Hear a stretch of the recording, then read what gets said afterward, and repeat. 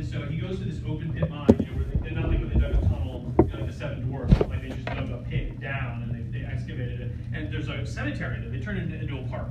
Uh, and you know when the mine closed, and there's a cemetery there, and you thought, gosh, that's weird. There's not like a town around here, so didn't they take people back to the um, to the town to get buried? I mean, did they? You know, nobody lived out here, right? And the park ranger's like, well, no, there were convicts that were working here for the state, and uh, when they died, the state just the, the, the mining company just buried them. Uh, and that led him to write the book. He sort of started digging around there. It turns out most southern states don't have a big legal system. They don't have a, a big infrastructure of jails or anything. The idea of a prison as a place where you send bad people to punish them, but also to maybe make them, in our phrase, the good members of society, productive members of society, it's a very northern idea in the 19th century that you, the prison is sort of reformatory, right, where you educate people and you maybe get them schooling that they didn't have, or you make them sort of cut out determined to free themselves of their life of crime. The southern states didn't have that. That costs money You got to pay for land, build the prison, staff it, food for the inmates. Didn't have it. Most southern states had a jail, a one big jail for the really bad people that you didn't want loose. And other than that, there was every county had a small jail for holding people until trials and drunk, the drunk tank and stuff like that. Uh, and so that's it. There was no sort of intermediate of like this is where you put people who need to be in jail for like a while, but not forever, right? But this guy did something bad, but he didn't like murder anybody, right?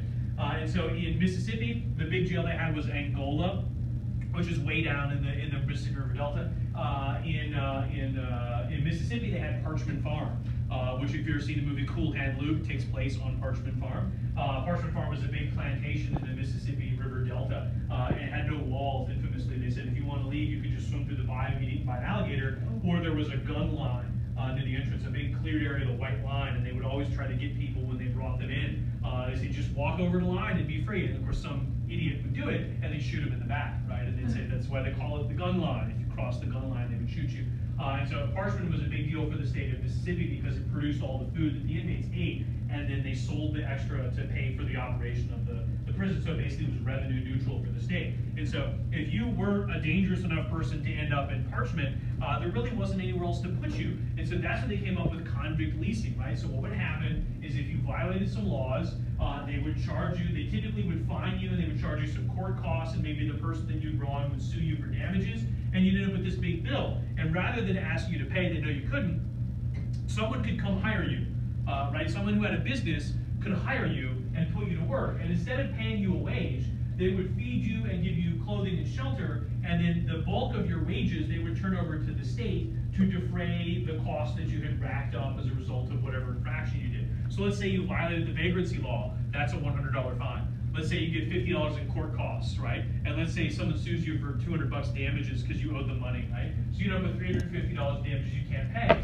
So the state of Mississippi leases you out to someone who has a business, and the wages that you would be paid instead go back to the, the state for your fine and your court costs and the person who sued you uh, for the damages that they got against you, right? And where would you work? Well, sometimes mines. Uh, in northern Florida, convicts did a lot of uh, work in the pine woods up in the northern part of the state, north of I-10 uh, today. Uh, they uh, tapped trees for turpentine, they cut down pine logs and stuff. in a lot of places, the, the plantation owners, the planters, they leased convicts for work as sharecroppers. And so imagine the horribleness of getting into a dispute with your employer because you know he cheated you, you know that he did, and maybe you can maybe you can call him on it, right? Uh, sometimes you can. Sometimes you can say, well, you know, I kept a set of votes, and I know that cotton sold for this much because I saw it in the newspaper. Uh, and I know that I actually made 1,200, not thousand dollars. And maybe he'll say, "Oh gosh, I was wrong. You know, I, you know, I made a mistake. I'll fix it." So maybe he decides to fire you uh, because maybe you're setting a bad example, right? Maybe you're uh, in the parlance of this, maybe you're behaving in a way that's uppity, right? So he fires you, uh, and you know the cops come because you're now a vagrant, you know, a job. Uh, he puts the word out so no one will hire you. So you get uh, you get hit with the fine, you get hit with the court costs, and he sues you for the money he owes you. And then uh, he comes to the jail and he offers to lease your labor back from the state. He says to the state, "I'll pay this guy a wage. Uh, I'll give him food and a place to live, and I'll pay the wage to the state of Mississippi. Some of which can go back to me, some of which goes to the state. And so you end up in chains as a convict working for the guy who you used to be an employee for." Uh, right? Uh, and so it's again, it's different than slavery uh, in detail, but in practice, it's actually not that really that different at all, right? Uh, and as you might imagine, I don't have a particularly great incentive to treat you well if you're my convict leasee. If you go to work for someone uh, and they treat you like garbage, you'll quit and find another job. If you're a convict, you can't quit, right? Like you have to work for me until I decide I don't need you or until uh, you're done, right? And as you might imagine, uh, when I deduct the cost of uh, your food and your uh, board and stuff, you might be working for like a penny an hour, right? Which is gonna, how long is it gonna take you to pay back $350 in fines working a penny an hour, right? Uh, good luck seeing the other side of that in the rest of your life, right? And so the whole point is this system is more complicated, but it sort of replicates slavery in some, some basic ways. Yeah. Wasn't that in Gone with the Wind, like Scarlett, when she needed to hire people to keep that logging company going, like she hired the convicts to come work for Yes. her, like, they have to. It was super nice when it was in Gone the she was really a nice person, wasn't she?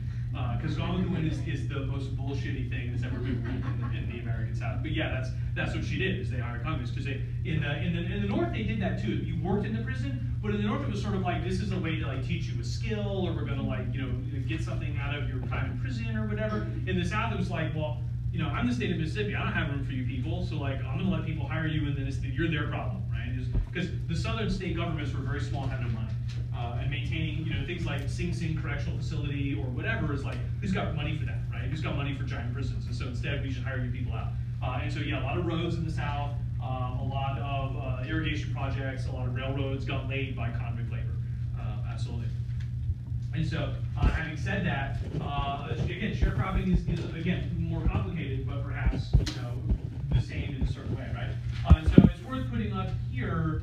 Here's an actual photograph of actual sharecroppers in in the late 19th century. Uh, this is a little bit later. This is this is like 1880s, 1890s probably.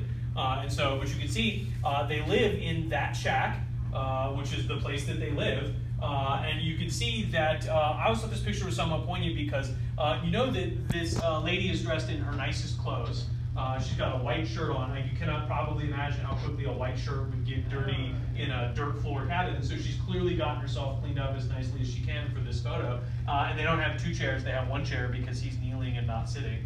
Uh, but they do very proud of the fact that they're getting their picture taken and they dressed up nice for it. But that's that's what a sharecropper's cabin would look like. Sometimes they were the old slave cabins that would just get dragged to the uh, to the shares, right? And so I would say, oh, well, you guys can live on the slave cabins.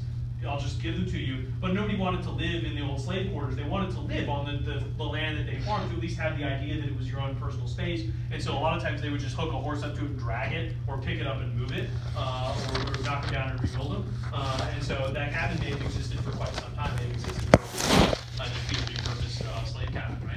Uh, and so as you might imagine, one of the problems that will happen is that when the economy begins to pick up in the northern states around the turn of the century in particular, uh, a lot of African Americans, particularly young people, will just leave. Uh, and their parents encourage them to do so. After all, you look around and you grew up in this cabin, and your father's like, look, uh, if you stick around, you're going to be doing this. So maybe you know, find out about a job in Michigan or you know, Ohio or someplace like that. Uh, and so the, the big uh, exodus of African Americans headed north will take place uh, between about 1890 and about 1920 is the is most of it. There's a little bit uh, in the 1930s and more in the 40s. Uh, and there's a, there's a, a hilarious, uh, sort of deeply ironic point when uh, just before automation comes into the South and tractors become really common, you still need a lot of labor, right? And the migration has reached the point of something like 20 to 30,000 people every month or so leaving the South, going for the North. And one uh, sharecropper, uh, one Southern plantation owner who uh, needs sharecroppers, actually takes out ads in northern newspapers trying to convince black people to come back. They'll pay you to work on the, and of course they're like, no, no obviously not. Yeah, We'll- right. we continue to go work for a several dollar a day wage in a factory in the north and not have anything to do with this. And so if you think of the big cities in the north as having these giant African American populations, that really is a factor of the late 19th and early 20th century when mostly it's black people leaving segregation and sharecropping, right? They, they, they leave this stuff because they don't want to do this anymore.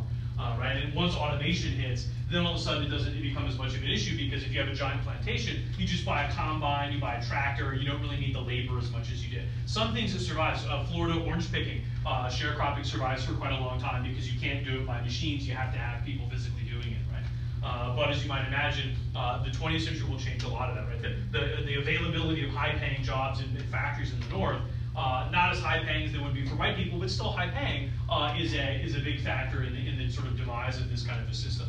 Uh, but for a long time, this is this is the thing. And again, remember, if the federal government had been involved in Reconstruction, they, they could have prevented this. They could have, you could do something about this. You could these people have a, a right uh, case to make in federal court that this is unfair. Vagrancy laws are enforced in a way that's discriminatory on their face. Uh, but the federal government isn't involved in that, right? The Civil Rights Act at the federal level will go unenforced.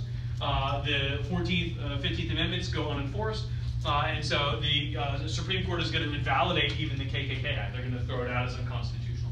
Uh, so I think that's a uh, that's a thing to mention is that this all works because the federal government's commitment to do something about Reconstruction becomes very difficult to enforce. If you're a Republican office holder at the federal level, there's the popular will isn't there. No one wants to pay for it. No one wants to have anything to do with it. It's viewed as this illegitimate project. You're being unfair to the Southerners. And what you can argue, we talked about this a lot last time. There's those two mutually exclusive ideas about the Civil War: free the slaves, reunite the Southerners with the Union. Right? Free the slaves, rebuild the Union. Uh, there wasn't really a way to do both of those things without making somebody unhappy, right? If you free the slaves, the Confederates are mad. If you bring the Confederates in to make them happy, you're probably going to have to screw over the slaves, right? Uh, and so, as it turns out, uh, by the 1870s, the argument is the Civil War was really about the Union. It was about bringing everybody back, and in order to do that, we just this is what we had. This is the price of that?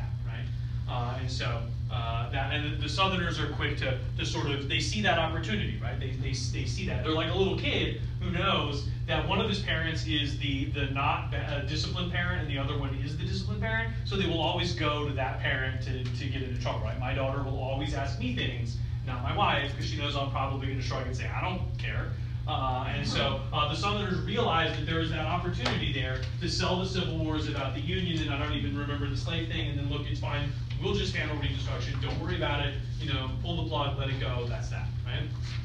And so, having said that, uh, we can talk about the politics of it as well. Um, you can see um, here is the uh, the injustice of Reconstruction, uh, Thomas Nast in Harper's Weekly. This is a white man's government, uh, and you have allied together. You have uh, the uh, capitalist who just wants to make money, right? He's got all the, the bonds and the deeds. You have the former Confederate soldier uh, who has got uh, the, the Bowie knife and the whip, by the way. Uh, and then over here you've got the troglodytic Irish voter uh, who Nast is a good Republican, so he hates Irishmen, he hates Democrats, and he hates people that drink booze. that guy's all three, right? And you notice the the Irish voter's got a club marked to vote because he's a savage. He looks like an eighth man because he's Irish, and he's got the bottle in his pocket.